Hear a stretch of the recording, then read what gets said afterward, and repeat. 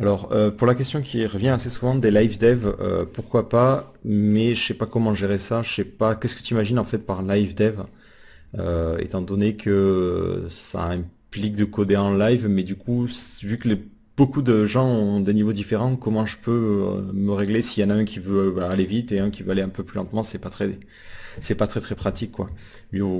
enfin, c'est pour ça que les tutos c'est bien, les gens choisissent ce qui leur, ce qui leur plaît ou pas. Euh, ouais, on avance au niveau du mouton le plus lent, mais si le mouton il avance pas du tout, ça peut être très très pénible au niveau d'un live. Euh, si tu essaies de suivre un, tuto, que le mec il s'arrête, il bloque au moindre if, euh, ça peut être très très très rapidement chiant. bon, j'essaierai peut-être un jour, hein, j'exclus pas l'idée d'essayer de faire un tuto en live, mais, moi j'ai des doutes franchement sur la capacité et sur le, fonctionnement. À moins de faire des groupes en disant bon ben là ça va être un tuto pour ceux qui vont vite, un tuto pour ceux qui vont être lentement. ouais faut voir. Mais dans ce cas-là, je préfère passer le temps, je traîne le tuto une bonne fois pour toutes, quoi. Alors, euh, quel, quel, OS je préfère pour coder? Euh, Tout simplement, pour l'instant, c'est essentiellement Windows. Euh, j'ai un Mac et j'ai un Windows chez moi, mais je préfère quand même Windows, il est plus rapide. Bah déjà, au, même prix, bah, il est déjà plus rapide.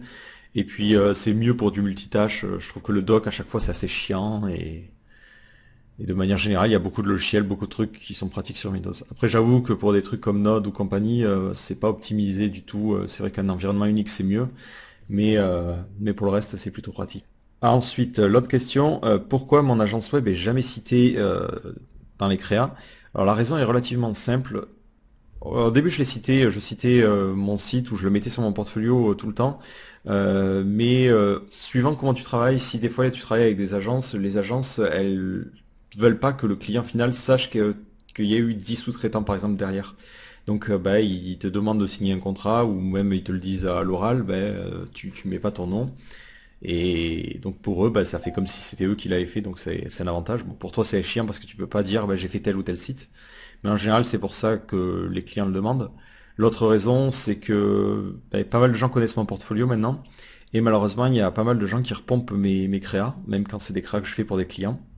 Donc il y a des clients qui m'ont enfin qui étaient un peu vénères parce qu'on leur avait repompé toute la charte graphique, je peux les comprendre. Et du coup maintenant je parle plus des sites que je fais et j'essaie d'en parler le moins possible, sauf sur euh, sauf des clients qui acceptent encore, euh, encore ce procédé-là, quand les sites sont trop, compliqués pour être copiés. Alors pour euh, Bracket, j'ai testé, c'est un éditeur qui est très très prometteur.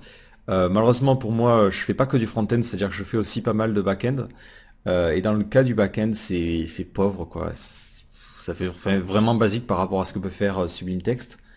Euh, mais au niveau du front-end, c'est vraiment pratique d'avoir les règles CSS et tout ça, même si bah, il manque des fonctionnalités primaires euh, comme bah, par exemple la gestion des préprocesseurs, SAS, Stylus ou, Less, ce qui pour moi rend l'outil quasiment inutilisable vu que bah, le principal intérêt de Bracket c'est d'avoir ces petits inspecteurs, des petites choses comme ça, mais ça marche pas pour SAS, donc c'est pas très très utile quoi. Alors, est-ce que le PHP est destiné à mourir? C'est une très très bonne question. Euh, alors je pense pas parce qu'il a quand même une communauté, euh, il est très très euh, ancien maintenant, il y a une communauté qui est énorme, il est supporté par quasiment tous les hébergeurs, donc c'est très très pratique. il a après sur, sur les vraies applications, les, les, vrais enfin les, sites globalement, il est, il est bien utilisé, mais il y a autant d'autres technologies. Donc il a toujours été en concurrence avec d'autres technologies, sauf que maintenant, avec euh, bah, l'apparition de Node.js, même de Ruby on Rails, ces autres technologies recommencent à prendre un petit peu de, publicité, entre guillemets. Euh, mais je pense pas que PHP est destiné à mourir. Euh, au contraire, quand on voit les frameworks qui sortent, bah, notamment la Laravel en dernière, dernièrement ou Symfony 2, bah, on voit bien que les gens arrivent encore à le pousser et on voit que les dernières mises à jour sont plutôt intéressantes. Donc selon moi, il est loin d'être mort il y aura de la concurrence, il y en a toujours eu, et au contraire, ça va permettre d'améliorer parce que il peut plus stagner comme avant vu qu'il y avait, euh, avait rien en face. Là, il faut que ça évolue et c'est une bonne chose. Hein. Il n'y a qu'à voir entre PHP 5.2 et 5.4, euh, ou même entre 4 et 5, les gains de performance sont complètement énormes. Donc euh, non, je pense pas que ce soit destiné à mourir. Par contre, l'avantage, c'est que pour les gens, les nouveaux arrivants, ben, ça ouvre un peu plus de possibilités. quand on commence le dev, on va pas directement aller vers PHP.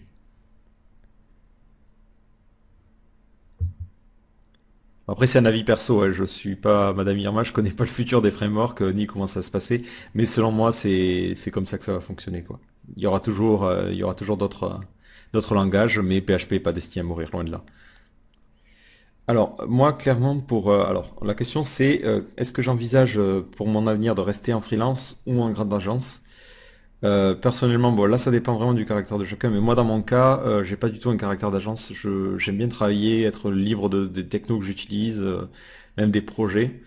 Euh, là, je vois en freelance, ben, si j'ai envie de travailler, tester un peu du Node.js, du Apache Cordova ou autre, ben, je peux le faire. En agence, on se retrouve à travailler sur ben, ce que les gens choisissent, donc ça peut être bien, mais des fois, ben, c'est pas, pas terrible. Donc, bon, j'ai pas une expérience de fou, hein. J'ai fait que 6 mois en agence, mais je préfère quand même freelance dans tous les cas. Donc, euh, même si euh, au niveau salaire, ça, équivaut pas, hein. Pour l'instant, en freelance, je rame un petit peu, mais je préfère vraiment le statut de freelance. Je préfère gagner moins et avoir un peu cette liberté-là. Alors, qu'est-ce que je pense de Python et de Django? Euh, j'ai absolument jamais touché à Django. Je sais pas du tout comment ça fonctionne. On m'a proposé des tutos, donc j'ai un peu regardé vite fait. Ça a l'air sympa. Python, j'en ai fait grâce à, Sublime Text. Donc le langage en lui-même, m'a l'air vraiment sympa. On dirait un mix entre du JavaScript et du Ruby, euh, sans les points-virgules et tout, donc c'est plutôt cool. Euh, en revanche, hein, pour du web, je sais pas encore. Le problème, c'est que la communauté est pas encore euh, assez développée selon moi, donc quand on cherche des infos, on galère un petit peu. Ce qui est pas très très très pratique, euh, ce qui est un peu austère pour, euh, pour moi pour commencer un nouveau langage. En plus, j'ai pris mes habitudes sur PHP, donc je me vois pas changer de langage euh, du jour au lendemain. Alors, est-ce que tu as une méthode pour choisir les frameworks que tu vas utiliser, ou bien est-ce que tu te bases sur les acquis? Essentiellement sur les acquis, sauf quand il me prend envie de tester un nouveau framework. Et en général, je me base sur ce que disent les gens, donc euh, il n'y a pas vraiment de super avis, euh, avis dessus. Donc euh, là, ce temps-ci, il y a la Ravel que j'essaie, mais à chaque fois que j'essaie euh, de me plonger dedans, euh, je me dis que c'est pas terrible.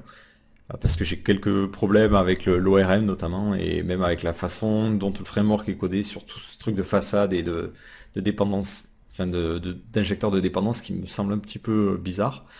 Euh, pareil, Symfony 2, je comprends absolument rien à ce que j'écris, donc j'ai abandonné assez rapidement. Donc en général, je me base essentiellement sur les acquis. Euh, pour le JavaScript, je sais un petit peu tout, mais euh, pareil, j'ai atterri sur AngularJS et je pense pas en bouger depuis avant un petit moment.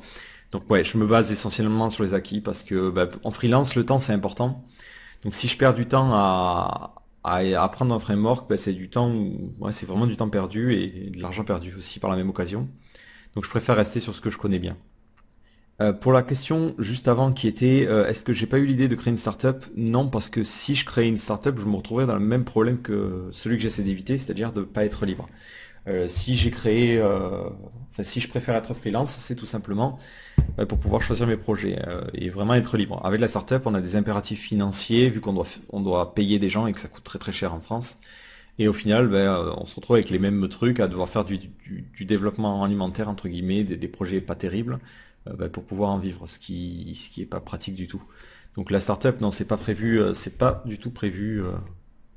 Alors, possèdes-tu d'autres... Alors, as-tu déjà pratiqué le Java Web? Donc, euh, je pense que tu parles du J2E. Euh, pour le J2E, non. J'en ai fait euh, deux semaines en DUT, c'est tout, et ça m'a pas laissé des super souvenirs. Je faisais du PHP à l'époque, donc peut-être je comparais vraiment trop à PHP. C'est plus objet, mais c'est beaucoup moins abordable et rien que de faire un formulaire, ça avait pris tellement de temps que ça m'avait complètement découragé. Donc non, je pense, enfin je fais pas de J2E et je pense pas en faire euh, avant, euh, avant un univers parallèle ou un truc du genre parce que là, non, j'ai vraiment pas accroché. Alors, qu'est-ce que tu penses de la nouvelle version de CakePHP 3? Alors, euh, d'une part, au, début, au premier abord, je me suis dit, ah putain, ils ont complexifié l'ORM ou de manière générale, tout le framework est plus compliqué à cause de ces, ces foutus namespace. Mais au final, c'est plutôt bien, c'est plutôt objet et ça avance vraiment dans le bon sens. Bon, c'est loin d'être complet, il y a pas mal de petits modules qui marchent pas, euh, mais c'est une bonne chose. Hop. Il y a beaucoup de nouveaux, de nouveaux trucs, l'ORM est beaucoup plus pratique à utiliser avec des objets plutôt que ces, tableaux conditions à rallonge, donc c'est plus, plus sympa, c'est vraiment plus sympa. Euh, connais-tu Ruby on Rails? Euh, oui, j'ai fait trois semaines à essayer de me former dessus. Euh, malheureusement, je pense qu'il faut, euh, il faut un pote qui s'y connaisse pour bien, bien nous former pour démarrer, parce que sinon, c'est un peu la panique. Euh, mais ça m'a donné envie. Mais encore une fois, le problème après, c'est de l'héberger. Et enfin, l'autre problème, c'est que je suis sur Windows et j'ai l'impression qu'ils en ont un peu rien à carrer de Windows. Ce qui fait que c'est super, super, euh, super pas pratique. Donc euh, j'ai galéré à installer la moitié des dépendances, marchait pas et tout. Ça m'a vite gavé. Et bah, j'ai quitté, euh, j'ai pas, pas persévéré quoi. Et c'est pour ça, euh, bah, d'ailleurs, que j'aurais... Enfin, l'avantage de, Ruby en Rails, c'est que j'ai pas trop galéré avec PHP, vu que l'un est inspiré de l'autre, c'était plutôt pratique de s'y mettre, mais euh, même, euh, j'ai vraiment pas réussi à accrocher. Utilise-tu Code Je l'ai utilisé, alors il y a 4 ans, sans en faire. C'était pas mal, mais c'était pour moi un framework qui était relativement vide au niveau des fonctionnalités. Il y, a beaucoup trop, il y avait beaucoup trop de choses à coder. Maintenant, si j'avais à rechoisir un autre framework léger, plutôt que Cake qui est vraiment un post sur MVC, j'irai plutôt sur du Laravel que sur du Code Initer. Je sais pas si ça continue à être utilisé d'ailleurs, enfin continue à être euh, à être développé activement, mais euh, je resterai, euh, moi j'irai plutôt soit Cake soit Laravel tout simplement. Alors qu'est-ce que je pense de Laravel 4 Alors je me suis vite exprimé quand je parlais des autres. Euh, moi perso Laravel, euh, ça me semble sympa. Je trouve qu'il y a beaucoup beaucoup de, je sais pas comment ça se dit, de hype autour. Tout le monde se dit ah c'est le framework à la mode. Euh. mais, perso j'ai du mal à accrocher. Il y a certains trucs qui sont pratiques et d'autres qui le sont complètement pas. je pense notamment aux relations entre les, tables qui utilisent un in en fait, alors que tous les autres frameworks et tous les autres ORM quasiment utilisent un, un join lorsqu'on fait un belongs to. Lui, il s'obstine à foutre un, in, ce qui est pas très très pratique lorsqu'on fait 1000 euh, ou 2000 enregistrements, parce que ça oblige à envoyer plus de données à MySQL. Et euh, si on a des idées à rallonge à 6 ou 7 chiffres, 1000 euh, enregistrements fois 6 ou 7 chiffres, ça fait 7000 caractères, plus les virgules que je compte pas. Ce qui fait beaucoup d'octets envoyés à MySQL, ce qui est pas très pratique, alors qu'un join résout le problème. Donc pour moi c'est bien et pas bien à la fois quoi. Euh, et de manière générale, il y a le système de façade, il dépend de beaucoup d'autres packages, donc euh, au niveau des mises à jour, ça va être un petit peu compliqué. Donc moi, j'ai du mal avec la Ravel, mais c'est une euh, préférence perso. Après, il est très bien si vous débutez le, avec les frameworks qui vous autorisent vraiment n'importe quoi. Vous pouvez foutre des, modèles dans des, dans des routes, ça ne le gêne pas. Donc dans ce sens, il est abordable, mais en revanche, il peut être très très mal utilisé du coup, vu qu'on peut faire absolument n'importe quoi avec. Donc pour ça, je suis pas très très fan de la Ravel. Ah, est-ce que je pense qu'il est possible de développer professionnellement sans utiliser de framework? Euh, Non. Alors, est-ce que tu parles de framework Est-ce que tu comptes les frameworks que tu as fait toi-même comme des frameworks? Parce qu'au final, tu codes sans le savoir forcément un framework. Euh, coder comme ça à la route chaque fois, c'est très possible. Mais dans ce cas-là, tu peux facturer euh, tes sites très très très cher vu que tu vas passer beaucoup de temps. Et quand tu vas faire des mises à jour, ça va être l'enfer aussi. Donc oui, c'est possible, mais professionnellement, je pense pas, non. Mais après, si tu comptes les frameworks euh, maison, euh, oui, dans ce cas-là, c'est possible. Avec un framework maison, c'est tout à fait possible. Alors, penses-tu qu'un graphiste a des raisons de consacrer du temps au développement comme PHP, côté serveur, ou plutôt rester côté HTML, CSS et JS euh, Alors, pour le graphiste, apprendre l'HTML, le CSS et le JS, pour moi, c'est une bonne chose parce que ça va lui apprendre un petit peu les, inconvénients et les limites qu'il y a à, à l'HTML et au CSS. Le JS, ça peut lui permettre aussi d'imaginer des animations, de savoir ce qui se fait. Par contre, les langages côté serveur, clairement, ça lui apportera rien pour le boulot graphiste. Si après il veut faire du, travail dans le serveur, là oui, ça peut lui apporter des choses. Mais si c'est juste pour améliorer ses compétences en tant que graphiste, non, euh, et de web designer, non, je pense pas que le côté serveur aide quoi que ce soit. Alors, euh, tu préfères le développement back-end ou le front-end? Actuellement, je préfère le front-end parce que le back-end, à force, c'est toujours la même chose. Le front-end, euh, je n'en ai pas eu depuis un petit moment et ça me manque. Et j'aime bien vraiment, surtout avec les, applications Apache Cordova, c'est vraiment sympa. Euh, mais euh, ouais, le back-end, les, deux sont indissociables pour moi, donc je pourrais pas dire je préfère l'un ou l'autre. Mais actuellement, je, suis plus front-end. Alors, tu utilises quoi pour les sites de e-commerce? Absolument rien, parce que dès que quelqu'un me demande de faire un site de e-commerce, je refuse parce que je déteste le e-commerce. Euh, ça a beaucoup trop de problèmes, c'est très chiant à gérer, les paiements, les trucs, les CMS sont imbitables, donc euh, non. Je fais pas de e-commerce, donc j'ai pas de CMS de e-commerce. La seule fois où j'en ai fait, j'utilisais WooCommerce avec WordPress et c'était pas terrible. Alors pourquoi t'es-tu associé à Idematic? Alors c'est très simple, Idematic c'est tout simplement euh, une agence qui est dirigée par un, gars qui fait du qui a le poste de chef de projet. Moi, je suis développeur et s'il y a un truc que j'ai du mal à gérer, c'est les contacts avec les clients. En général, c'est assez long, c'est compliqué, tout ça. Donc l'avantage de passer avec Idematic, c'est que lorsque quelqu'un arrive et me dit j'ai besoin d'un design, j'ai besoin de tout le codage et tout, euh, Idematic, lui, il va servir de, point de contrôle en fait. Il va gérer tout, il va chercher un, graphiste qui va correspondre aux besoins, euh, lui, il va gérer les tâches, il va gérer de savoir combien de temps ça va prendre et tout ça. Donc euh, en tant que chef de projet, il va me permettre d'économiser beaucoup beaucoup de temps, d'éviter d'avoir à communiquer avec le client et, d'essayer de se mettre d'accord sur des trucs. Lui, il va tout cadrer et moi au final, j'aurai juste le dev. Donc me mettre en, collaboration, en association avec eux, bah, ça me permet de me concentrer sur ma partie à moi et de pas gérer euh, tout ça. Donc pour moi, c'est de la simplification et pourquoi j'ai choisi cette agence plutôt qu'une autre, ça peut être aussi la question. Euh, tout simplement parce que j'ai été amené à travailler avec eux pour un projet et les outils qu'ils ont mis en place, ils utilisent Redmine et des choses comme ça, m'ont convaincu. Je me suis dit, bon, j'ai travaillé déjà avec plein de chefs de projet, que c'était l'horreur. Et eux, ils travaillaient vraiment bien, très proprement. Donc euh, on a décidé de faire cette association parce que ça permettait d'enchaîner les projets plus rapidement et moi de gérer que, que l'aspect dev. Alors, quel matériel as-tu? Euh, J'ai... Je sais pas, on va utiliser la webcam. alors c'est pour ceux qui auront Twitch. Euh, j'ai un PC avec un dual screen. Euh, ben, c'est très important pour l'intégration. Ça me permet d'avoir un écran qui est utilisé pour, euh, pour coder et l'autre écran pour voir le résultat sur Chrome et, regarder une série en même temps, ce qui est loin d'être négligeable. et puis, clavier, j'ai un clavier mécanique, c'est ce qu'on entend dans les tutos, ça fait un bruit de malade. ce que vous entendez là. Voilà. Et après, bah, souris. Voilà. Rien de, rien de particulier. Hein. Un développeur, ça a juste besoin d'un clavier, des écrans et, c'est parti quoi. Alors, c'est quoi ton pseudo sur League of Legends? Ah, c'est secret défense. Je le donne pas, je le donne pas comme ça.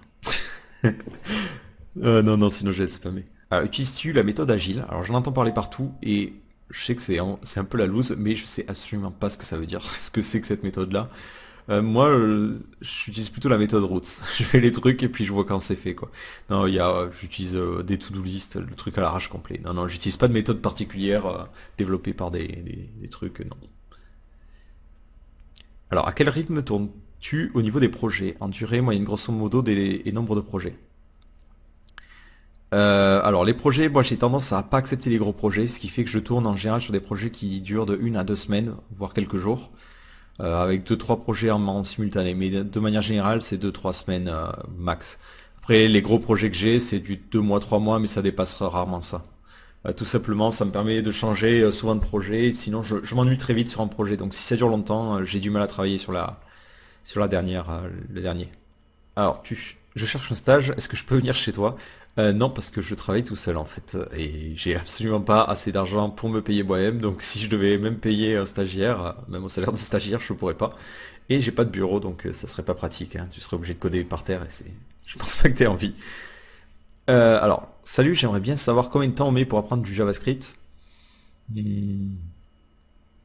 C'est vague comme question, parce que le JavaScript brut, tu regardes la documentation, tu en as fait le tour en 2-3 jours. Hein. Euh, après, euh, c'est de la, pratique et je te dirais, euh, c'est quasi infini quoi. Même, aujourd'hui, je continue à apprendre des trucs en JavaScript. Donc voilà, il va te falloir 8 ans, 8 ans pour connaître du JavaScript. Non, pour bien comprendre et faire fonctionner un an, ouais, 6 mois. Allez, 6 mois, marchand de tapis, 6 mois ça devrait te suffire. Pourrais-tu faire un cours de JS Alors une formation JS, j'y pense, mais je ne sais pas si je fais une formation sur JS pure ou si je commence par une formation Angular parce que je suis plus à l'aise avec Angular que faire du JS brut. Euh, mais une formation sur du JavaScript est prévue dans tous les cas. Ah, est-ce que ça vaut le coup d'apprendre plusieurs frameworks ou un seul suffit? Euh, Ça dépend. Si tu veux aller sur le marché du travail, connaître plusieurs frameworks, ça te permet d'ouvrir plus de portes. Mais si tu travailles pour toi-même, euh, un seul, un seul framework suffit largement. Tu vas pas coder un site en, en 10 langages différents. Mais pour la culture perso, ça peut être cool d'en connaître un et de le gérer, de le masterisé et euh, d'en connaître un second juste pour l'expérience. Voilà. Moi je pense que c'est une bonne, euh, structure. Après connaître tous les frameworks du monde, non, parce que ça veut dire que tu es moyen dans tous les frameworks. Mieux vaut en connaître moins bien. Est-ce que tu utilises les gestionnaires de version? Oui, j'utilise Git. Hmm, j'utilise pas, pas souvent. Souvent sur mes projets perso parce que moi je peux le mettre en place. Mais après quand j'utilise avec les clients, ils vont souvent me taper le code source directement sur le FTP et ça casse un peu tout l'intérêt d'utiliser Git. Donc euh, je l'utilise pas pour les clients, mais j'utilise en général pour moi parce que je sais que j'ai tendance à, supprimer des blocs et après à me dire ah merde c'était quoi le, code que j'ai créé il y a trois mois? Donc pour ça j'utilise Git. Des fois le dev ne te saoule pas? Non, j'ai eu la chance de pas être saoulé. Par contre, euh, ça m'est arrivé quand j'étais. Alors je sais pas le statut que toi tu as, mais ça m'est arrivé quand j'étais en, boîte. Quand j'étais, je travaillais dans une société où je faisais toujours la même chose. Là ça m'a ça m'a pas mal gavé à un moment et ouais je te dirais, j'ai une vidéo en préparation sur YouTube euh, justement qui parle de ce problème-là.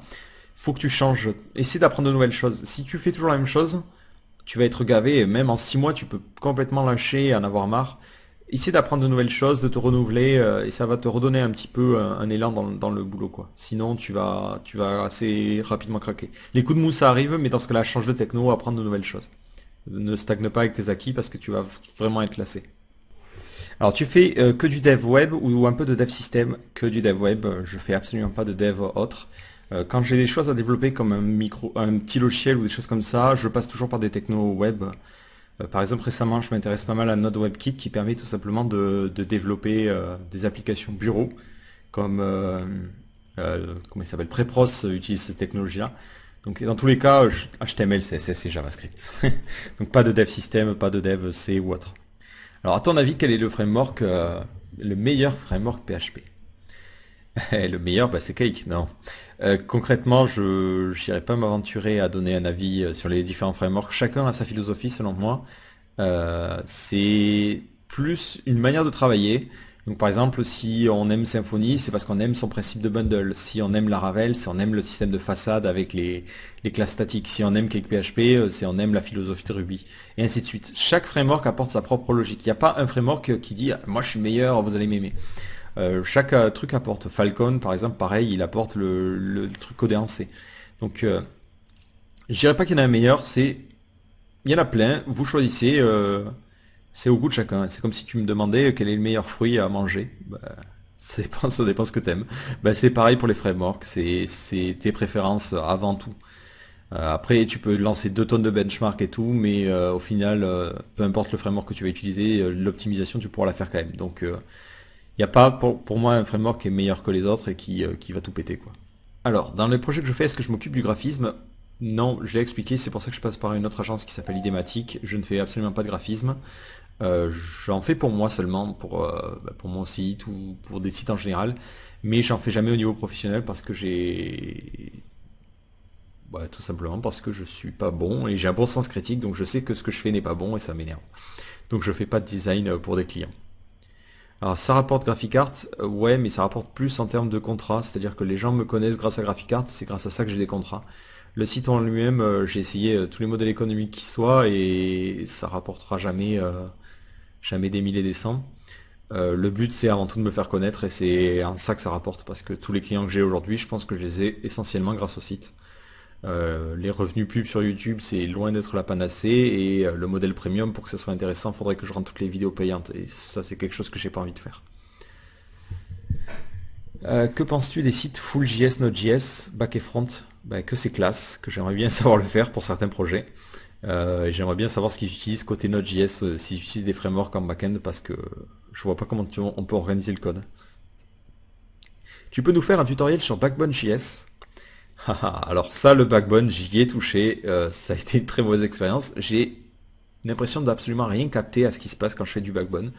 Euh, je vois pas du tout... Euh, enfin non, je, comprends rien à, du backbone JS en fait. J'ai codé un mois dessus. Hein.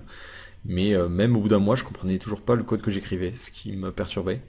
Et c'est après ça que j'ai découvert AngularJS, donc je pense pas revenir sur du, du, backbone. Je reste forcément sur du AngularJS. Alors concrètement, comment organises-tu ton temps pour être euh, efficace en freelance? Je travaille pendant que les gens ne sont pas connectés sur Skype. Donc je commence euh, en général en après-midi et ça finit vers, vers 3 ou 4 heures du, matin. Et au moins je ne suis pas dérangé. Euh, je gère pas du tout mon temps, mais il faudrait le faire. C'est-à-dire qu'il faut se donner des heures, un petit peu comme dans une entreprise, pour travailler à des heures fixes et dire là c'est du boulot, là c'est du loisir, là c'est du boulot, là c'est du loisir. Mais en, freelance, on, on a vite fait de là c'est du boulot, là c'est du boulot, là c'est du boulot. Bah, travailler plus pour gagner plus, pas de choix. On parle beaucoup de la doc.js d'Angular. Ah, la fameuse doc.js. Alors là, il faut savoir que ceux qui connaissent pas Angular, la documentation est l'une des pires documentations du monde. Il y a... Dans les commentaires, ils ont dû, je crois, les supprimer à cause de ça, ben, les gens, ils se plaignaient que de la documentation. C'est impossible de l'éditer, même, euh, il n'y a, pas de dépôt GitHub sur la doc. Enfin, voilà, voilà, vraiment merdique et il y a un gros, gros travail à faire. Même leur site, il est pas, il donne pas envie quand, quand on compare à Ember, qui est tout joli avec le petit hamster. Euh, Angular c'est austère, mais c'est du Google, hein, c'est fait pour les devs par des devs et, les devs ça aime pas écrire la doc. Pourquoi fais-tu des vidéos sur YouTube? Pourquoi pas? Euh, quelle solution d'hébergement proposes-tu aux clients en freelance? En général, non, je leur demande de eux s'inscrire à l'hébergeur en leur euh, conseillant En général, moi, vu que je travaille sur des projets de 2-3 semaines, c'est des sites vitrines, donc ils n'ont pas besoin de gros gros besoins d'hébergement. Euh, je préfère qu'ils gèrent eux-mêmes leur propre, euh, leur propre hébergement, comme ça, ben, si jamais après ils veulent renouveler le nom de domaine, ils n'ont plus à passer par moi. Et même plus tard, s'ils veulent pas faire du développement et que je suis pas dispo, ben, ils n'ont pas à me dire hey, j'aurais besoin des accès. Euh, l'autre côté, c'est que pour moi, ça m'évite d'avoir à m'occuper de ça. Si jamais ils ont des problèmes, ils contactent directement l'hébergeur. Ils sont plus indépendants comme ça. Ton avis sur Joomla euh, J'ai jamais utilisé Joomla, les seules fois où on m'a refilé un Joomla, j'ai rien compris, et pareil, euh, à installer, ça, c'était merdique. Puis c'est une mauvaise réputation Joomla, souvent parce que les agences l'utilisent euh, vraiment de manière très très mauvaise pour faire des sites qui sont assez moches. Donc bah, si j'ai un conseil pour Joomla, c'est d'utiliser WordPress. je sais que c'est dégueulasse pour ceux qui utilisent Joomla bien, mais ouais, moi j'arrive pas du tout à accrocher à leur structure.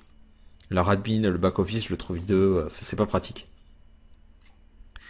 Cherches-tu un travail dans une société Non, non, non, non, non. Je suis en freelance, je l'ai déjà dit, et je reste en freelance. Société, ça m'intéresse pas du tout. Je veux avoir cette liberté de choisir sur quelle techno je travaille et de pouvoir dédier 40 euh, ou 20% de mon temps euh, pour des vidéos. Je préfère avoir cette liberté-là. Euh, une société, ça m'est arrivé, on me dit, bah, il faut que tu travailles ça, et on aimerait bien que tu arrêtes ton site parce qu'on veut quelqu'un qui soit 100% dédié à la société. Donc ça, c'est mort, ça arrivera jamais. Un petit screen du futur site Non, parce que c'est loin d'être définitif et les premiers screens, les gens n'ont pas trop aimé, donc euh, je pense qu'on va, avoir bossé pas mal de trucs. J'en enverrai, vous inquiétez pas, mais pour l'instant c'est tellement pas définitif que ça vaut pas le coup.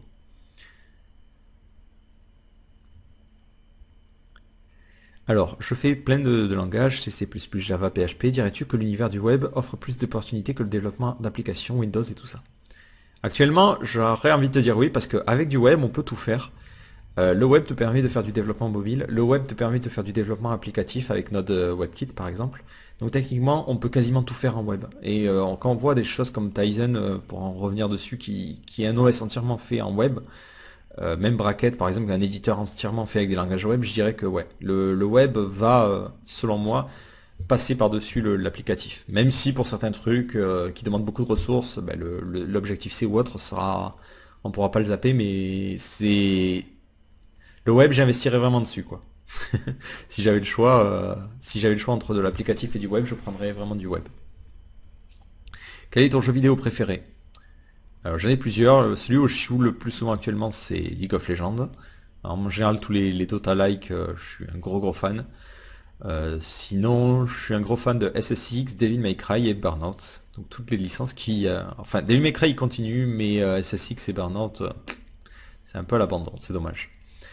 Euh, comment vendre un site vitrine à un client qui nous explique que c'est beaucoup moins cher sur One and One et les pages jaunes, vu à la télé? Bah, Dites-lui d'aller sur One and One, les pages jaunes, et dans un an, il reviendra. Euh, moi, si quelqu'un vous dit que quelque chose est mieux que ça, il faut pas aller contre lui. S'il pense ça, euh, essayez de lui expliquer, mais s'il ne veut pas comprendre, ben, laissez-le faire. Il n'y a pas, moi, j'estime que le web, il y a plein d'offres qui sont, qui sont disponibles et on n'a pas imposé à quelqu'un à lui dire euh, ah, il faut que tu passes par un dev, il faut que tu fasses, euh, faut que tu fasses ça. C'est vrai qu'il y a des outils euh, tout faits, one and one, on voit la pub à la télé, alors ça fait croire qu'on peut générer des contenus aléatoires, qu'ils y aillent et qu'ils testent et qu'ils voient après. Hein. Moi, ça sert à rien de se battre contre des boulins. C'est suivant les budgets, bah, ils adaptent vraiment la solution qu'ils vont choisir avec One and One, ils auront un, site qui ressemblera à tous les autres, mais euh, au moins ils auront un site. C'est mieux que, rien. C'est vrai que n'importe, enfin, quand on commence le business, on peut pas se payer 700, euh, voire 1000, voire 5000 euros dans un site vitrine. Je peux le comprendre. Moi, j'ai pas du tout d'a priori sur ce, genre de, gens-là. Au contraire, ben, il faut essayer de les guider, leur expliquer la différence entre ben, un dev perso et un, truc one and one. Mais après, ne pas aller leur, faire, ah, vous allez prendre un one and one, c'est nul et tout ça. Non qui prennent et qui voient après par la suite euh, l'évolution. Passes-tu par un site pour l'émission freelance? Non, parce que comme je l'ai expliqué, grâce à Graphicart, en fait, bah, apparemment, euh, le site est pas mal connu, ce qui fait que ça me permet d'obtenir les clients directement, donc j'ai pas à les chercher ou à passer par des plateformes tiers pour les trouver. Puis euh, j'ai une série de chefs de projet avec, avec lesquels j'ai l'habitude de travailler qui m'apportent suffisamment de contrats pour pas avoir à gérer ça. Comment choisir les tarifs pour nos services? Alors, c'est une formule mathématique très conne. Tu prends l'argent qu'il te faut pour vivre par mois, tu le divises par le nombre d'heures que tu es capable de travailler en un mois, et tu pondères par les vacances, et ça te donne un tarif horaire. Et tu ensuite, quand quelqu'un te propose un projet, tu calcules le temps que ça va te prendre, et tu multiplies ce temps par ton tarif horaire. Et voilà, tu sais comment tarifier les, services. C'est tout simple. donc euh, ça dépend vraiment de ton tarif horaire et de ta vitesse de travail. Donc quelqu'un peut avoir un tarif horaire moins, moins ou plus fort que toi, mais s'il travaille plus ou moins vite, ça dépend vraiment. Il n'y a pas une formule où je te dis un site vitrine c'est 500, un site dynamique c'est 1000 et ainsi de suite, ainsi de suite. Non. Ça va dépendre de chaque développeur. Alors que penses avec les nombreux tutos sur internet, que penses-tu des écoles publiques? Où finalement on apprend moins que sur internet. Les formations publiques et privées ne sont-elles une perte de temps? Alors, moi j'ai fait une formation de ce type-là, donc un DUT SRC pour ceux qui connaissent, et euh, c'est une perte de temps, oui et non. Euh, oui, dans le sens où si vous voulez faire du dev, vous aurez plus vite fait d'apprendre vous-même. Non, dans le sens où ça fait plein de choses. Dans le cas du DUT SRC, on apprend à faire du, à manipuler une caméra pour faire des films, des choses comme ça. ça, c'est pas les genres de trucs que tu peux apprendre sur Internet. Même si après, c'est pas dans ton métier le dev, euh, c'est clair que bon, manipuler une caméra, ça va pas me servir tous les jours pour faire du code.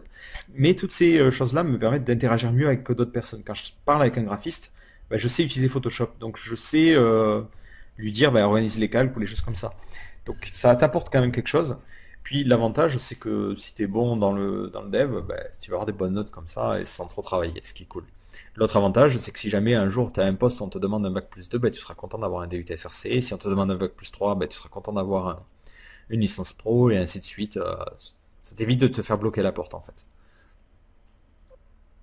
Tes pires fautes de programmation que tu aies faites dans des projets à la top, mais c'est pas de la programmation, c'est plutôt de la gestion de serveur, c'est de supprimer le dossier libre, donc l'équivalent du dossier program files ou du dossier application sur Mac, qui m'a valu une bonne soirée de, euh, bon gros stress quoi.